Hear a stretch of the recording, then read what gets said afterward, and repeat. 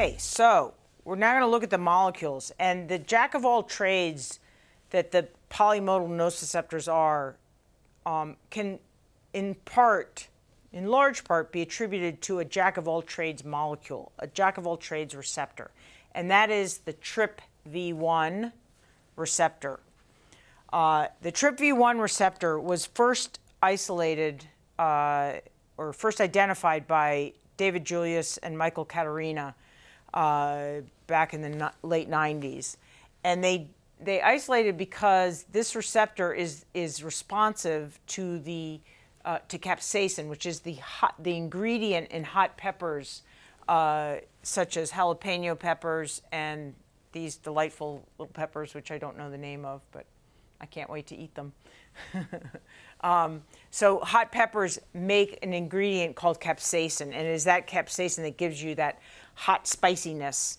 Um, and the the molecule that responds to capsaicin is uh, the trip is a transient receptor potential recept, uh, uh, receptor. Transient receptor potential.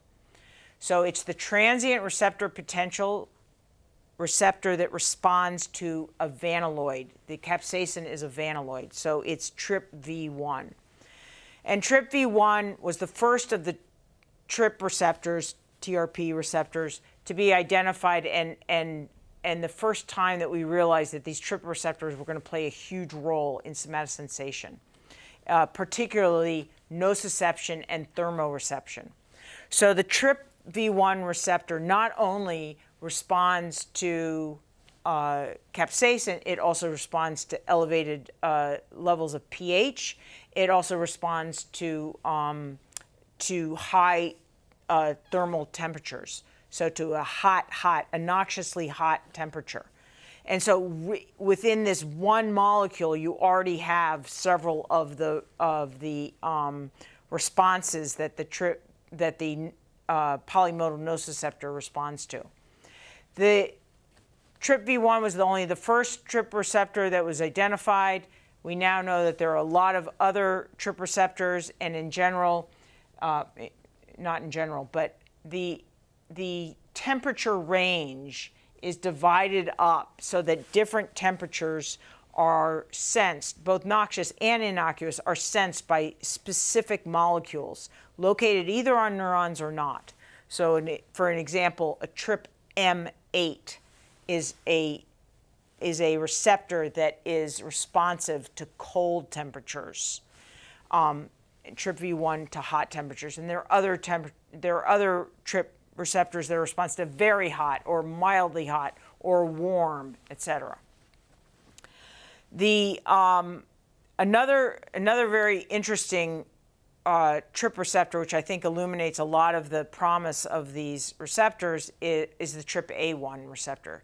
And this is arguably the, uh, or this is thought to be the, the first, the first to evolve, the most ancient form of a TRP receptor was a TRPA receptor. The TRPA1 receptor is responsive to a wide variety of uh, stimuli, including cold, uh, including smoke, any any derivative of, uh, vegetation, so smoke or smog, pollutants, um, the uh, if you're sitting in a in a pool or a hot tub, you, that smell of what we think of as chlorine, that's hypochlorite. That molecule also activates the TRPA1, as does wasabi, as does mustard, as does cinnamon. It is a broadly responsive, that this receptor is broadly responsive to a number of, um, of components of uh, or, or air, um, airborne components. And it's the A1 receptor is densely present within the trachea. So the trachea has sensory nerves so that you can uh, detect changes in your trachea.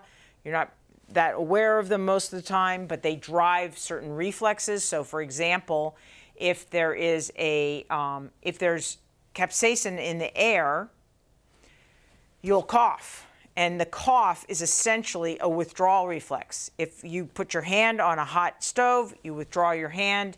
If you breathe in something that's going to hurt your lungs, you cough it out. That is a withdrawal reflex. You're getting rid of this uh, irritant. Um, and you also stop breathing for a moment. So there's a, there's a moment of apnea so you don't take more of this stuff in. Now, there is an, an acute reaction to these uh, irritants, and that acute reaction is absolutely necessary, just as necessary as withdrawing your hand from a hot stove. But over time, the reaction can, can become uh, compounded and be can become more harmful than helpful. So over time, the TRPA1 receptor, if it's continually activated, let's say by smog or uh, or cigarette smoke or or um, or a, a, fire fire smoke from a, um, a wood fire, uh, then it's going to start to inflame the tissue that it, it, it innervates. And so TRPA1 is a possible candidate for a molecule that is targeted by uh, in asthma, in the pathophysiology of asthma, that this molecule may become uh, may uh, have become hyperactive and it made the trachea a very inhospitable place due to all this uh, stimulation from this exogenous um, uh, uh, irritants. So it's, a, it's one of the places where there is a, a, lot of attention being paid to think about uh, trying to get uh, the TRPA1 receptor to do the good things that it does on, on an acute level, stimulate a cough, protect the airways, but prevent it from doing this overblown reaction that gets you into a chronic disease such as asthma. There are other uh, um, molecules that are specific to nociceptors, and these are of obvious interest to uh, pharmacologists trying to develop better uh, treatments for, for pain.